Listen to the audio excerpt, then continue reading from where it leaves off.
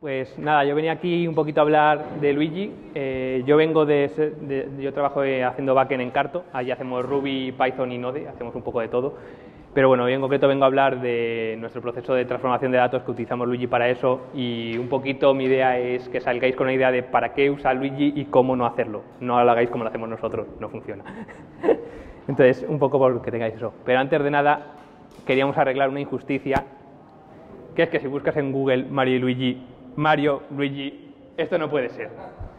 De hecho, esto es un problema cuando vas a buscar GIFs animados y chorradillas que ponen en la presentación porque dices, joder, qué guapo, quiero poner esto, pero joder, es de Mario, no es de Luigi. Entonces, si alguna vez tenéis este problema, aquí tenéis un snippet de Python con Image.io que coge la imagen, lo ro- rompe en frames, lo convierte al espacio de colores HSV, le suma ahí un poco para convertir de rojo a verde, pim pam, pim pam, lo vuelve a escribir Perfecto. No se nota la diferencia. En La gorra pone M, pero mm, perfecto. Pero hoy no vamos a hablar de este Luigi, vamos a hablar de este Luigi. Voy a cambiar un segundito de presentaciones. Estos son los problemas del directo.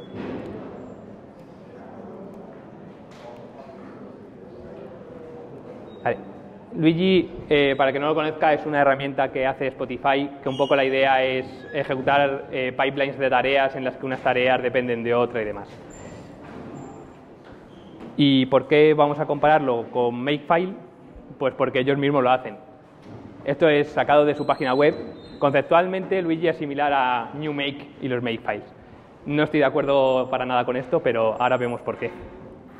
Entonces, la forma de verlo un poco más fácil es, vamos a coger un Makefile sencillo, compila un punto .c a un ejecutable con GCC. Y vamos a intentar hacer lo mismo con Luigi y vamos viendo un poquito cómo funciona. Código en Luigi tiene tal que esta pinta, que es un poquito más grande, nada más. Pero, pero bueno, eh, lo primero que vemos, el Makefile tiene una dependencia que es hello.c, que es el fichero de entrada. En Python, en Luigi, esto como se hace es una tarea que tiene una dependencia de otra tarea, un require. En Luigi tenemos siempre tareas como dependencias, no podemos escribir un fichero como dependencia, con lo cual tenemos que crear una tarea que decimos que es una tarea cuya salida es el fichero en cuestión y que es una tarea externa que es, no sé cómo narices ha ejecutado esto, pero ha generado el fichero en algún momento. En este caso, external quiere decir un programador ha escrito hello.c, pero podría ser cualquier cosa. Luego todas las tareas tienen un output, una salida, en este caso la, salida de la tarea de compilar sería el fichero ejecutable, igual que, que eso en Makefile es el objetivo. Y, para, y luego tienen también un método run, cada tarea tiene un método run que es donde hacer lo que quieras hacer. Es código Python arbitrario, tú ejecutas ahí lo que te dé la gana, siempre que al final acabes generando pues, tu salida, que en este caso sería el fichero, he- el fichero hello, sería algo así. Entonces, un ejemplo muy sencillo para ver un poco los conceptos básicos, es decir, tarea, una tarea tiene una lista de entradas que son dependencias, una, un ejecutable, un run que ejecutas que es el que hace todo, y una salida que es pues, lo que has generado, que, tiene que, que se utiliza para saber si la tarea está completa o no. Entonces dices, bueno, si este fichero ya existe, pues es que ya ejecuta la tarea. Pero podemos hacer cosillas más complicadas. Este es otro ejemplo de Makefile. Eh, para que no conozca la sintaxis, esto lo único que estoy intentando hacer es que en vez de tener un fichero de entrada tengo dos. Entonces hago una regla que todos los .c los convierto a .o con la primera regla y luego los dos .o los convierto en un ejecutable usando la segunda tarea. Entonces esto forma parecida. Esto en Luigi lo que se corresponde es ese porcentaje sería añadir un parámetro. La tarea tiene un parámetro, el parámetro afecta a qué dependencias tengo, es decir, para poder compilar tal fichero .o necesito el equivalente .c, afecta a lo que genera cada tarea, cada tarea generaría su .o y luego cambiaría un poquito el run con, con la salida del output y del input, pues utilizar los parámetros que te hayan entrado. Y luego de igual manera, pues tendría otra tarea adicional para compilarlo todo, pues que sencilla- sencillamente depende de las dos tareas anteriores, en este caso sí es una dependencia de tarea sencilla, y ejecutarlo, pues como esto es Python, pues y, y tienes que ejecutarlo con varios, tienes que coger un array de entradas y convertirlo en varios parámetros de ejecución, pues puedes usar una list comprehension, pones ahí el punto output punto path y lo conviertes un poquito, pim pam pim pam, le pasas todos los parámetros al subprocess run y listo. Esto es un ejemplo muy sencillo, pero bueno.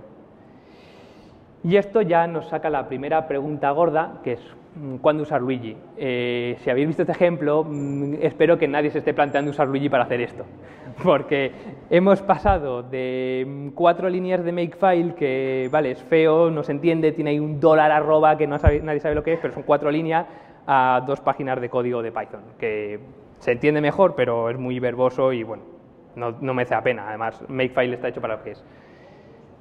Entonces, ¿cuándo tiene sentido usar Luigi? Pues bueno, las cosas buenas que tiene es, es muy extensible, como eh, tanto las tareas como los objetivos es código Python, pues es tan sencillo como, mira, por ejemplo, aquí tenemos un ejemplo de objetivo, estoy intentando hacer un API de bajarme datos de GitHub para, yo qué sé, para sacar estadística, entonces pues puede ser que quiera saber que me he bajado ya los datos de, una, de, de un ISU y le he metido una base de datos.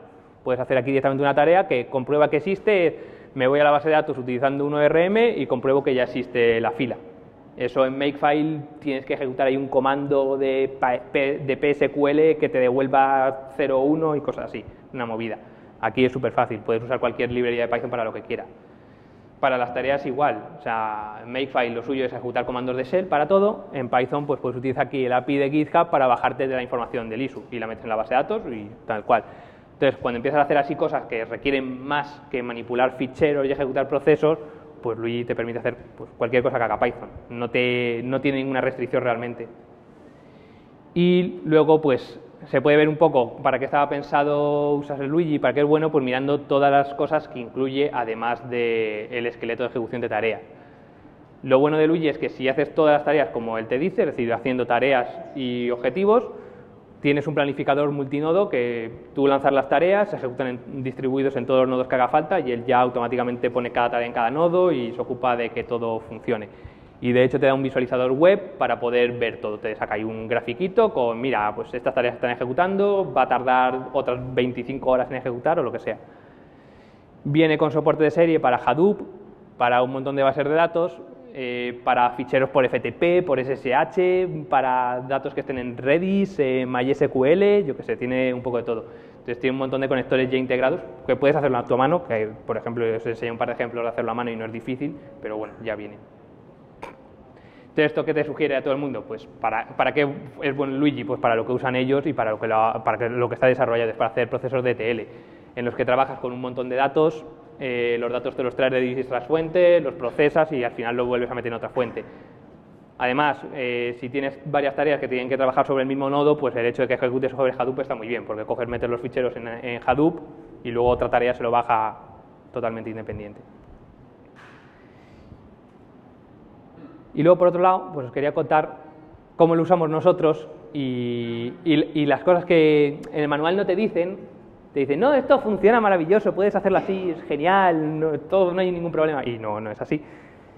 O sea, nosotros lo utilizamos para un proceso de TL, pero tenemos algunas características que hace que sea un poquito horrible. La primera son parámetros no serializables, que dicho así suena fatal, pero nosotros tenemos tareas que tienen acceso a la base de datos. Y tienen acceso a la base de datos y utilizamos como capilla de, abstracción, utilizamos SQL Alchemy. Entonces, en, algunos, en algunas tareas tenemos como parámetros de las tareas objetos de entidad de SQL Alchemy.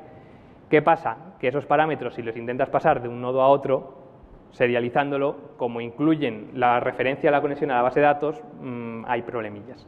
Entonces, este es un ejemplo eh, simplificado de una cosilla que tenemos hecha. En este caso tenemos una tarea que se baja una pull request de GitHub y la mete con el ORM jisu.create y la crea y la guarda en, la base de datos. Y luego tenemos una tarea wrapper que saca el repositorio primero que tenemos y dice, oye, para el repositorio primero sácame las primeras 10 tareas. Entonces, hay un parámetro que es repo, que es un objeto de, de la base de datos, es un objeto de ORM, que incluye una conexión a la base de datos. Si lo ejecutamos así, en modo local scheduler, que esto lo que hace es correrlo con un solo nodo, lo ejecuta en local todo el tirón, ideal para desarrollo, tú lo pruebas en desarrollo, en tu máquina de desarrollo, joder, de puta madre, esto funciona ahí, te sale la carita sonriente que pone Luigi ahí, this looks, carita sonriente, muy simpático y todo.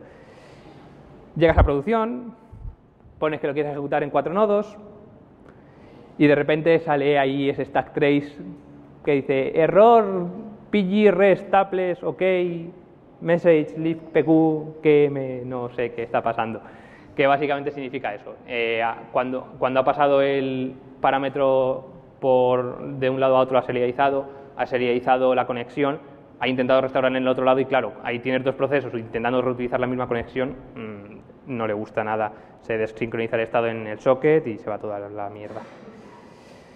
¿Soluciones a este problema? Pues la más sencilla y funciona bastante bien es eh, no utilizar ningún tipo de, este tipo de parámetros. En este caso, en vez de pasar por parámetro el repositorio sobre el que queremos trabajar, el objeto repositorio, pasamos el ID. Y ya en la tarea hacemos, sacamos el, ID del repositorio, lo sacamos. sacamos si necesitamos el objeto, lo podemos sacar. En general, una buena regla es no pasar como parámetro nada que no puedas expresar en la línea de comandos. En Luigi puedes ejecutar tareas desde la línea de comandos, Cualquier cosa que puedas expresar en la línea de comandos va a ser serializable por narices, porque al fin y al cabo lo estás serializando para línea de comandos, tipo strings, enteros, fechas, booleanos, todo eso funciona sin ningún problema. Pero si ahora quisieras, oye, quiero ejecutar esta tarea a mano de la línea de comandos, pues con el objeto del ORM no lo vas a poder meter. Es una buena referencia, pero en general, si haces esto, esto funciona sin problema. Y la otra solución es que para cada tarea en este caso, con, con con el ORM, se puede hacer ese decorador que lo que hace es eh, crear una conexión nueva para, este método, en el contexto de este método ejecuta una tarea nueva, pues con eso, por ejemplo, funciona. Siempre que todas las tareas eh, inicialicen y destruyan todos los recursos que van a usar, no hay problema. En este caso, eso fuerza que el ORM destruya todas las conexiones y las vuelva a crear, y los haces una vez por tarea, no hay problema. O sea, Luigi te garantiza que si cada tarea es independiente no vas a tener ningún problema pero tiene que ser independiente de verdad. Otro problema común que tenemos es eh, tareas que no dependen exactamente siempre de los parámetros, es decir, que con los mismos parámetros pueden devolver distintas cosas. Ejemplo clásico son descargar actualizaciones. Es decir, descárgame la última versión del censo de España y utilizas una URL del latest que hay ahí. Entonces, el mes que viene, cuando vayas a sacarte los datos y vayas a bajar la versión actualizada, Luis te va a decir, oye, que esto ya me lo bajé, la tarea ya está acabada, yo ya veo aquí que está en la salida. Entonces, en general, este es el problema, es qué pongo ahí. bueno, este es un ejemplo con un Git, igual, estamos siguiendo un ejemplo de Git.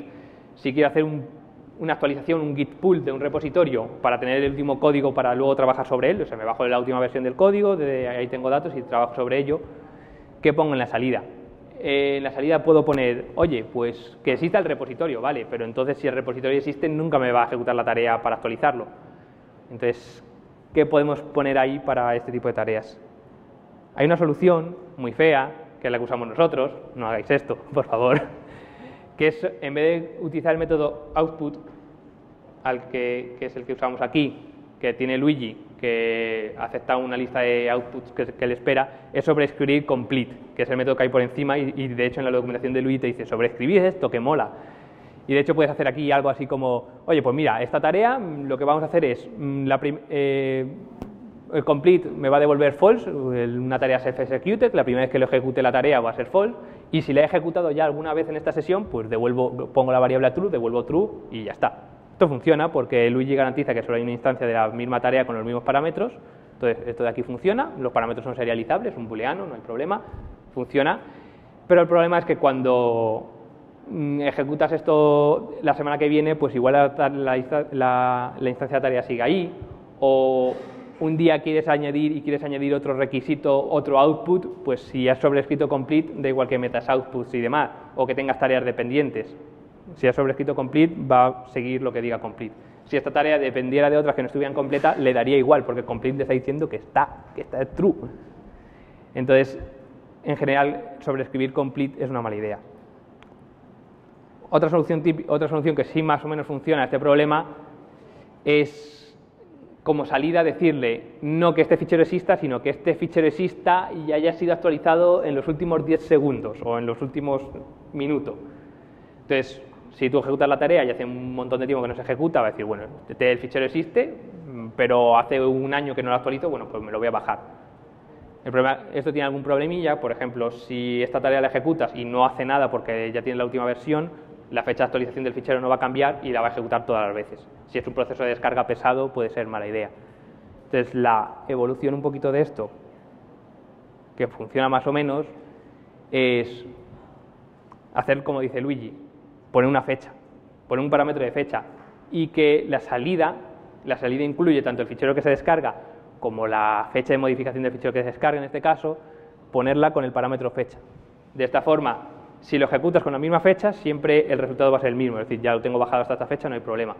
Si cambias el parámetro de fecha, entonces va a ejecutar otra vez. Esto está muy bien, lo único malo que tiene es que cuando ejecutes el pipeline tienes que pasar el parámetro fecha a now, puedes ponerle un default de now, pero si ejecutas el mismo pipeline o reejecutas una tarea fallida o cualquier cosa, va a coger el parámetro de fecha de cuando lo ejecutaste por primera vez y va a ser bien, va a funcionar bien porque para la fecha esa ya ha ejecutado o no, y entonces ya tiene, tiene claro si funciona. Tengo alguna cosilla más, pero de momento lo dejo aquí para preguntas y hablamos de ello.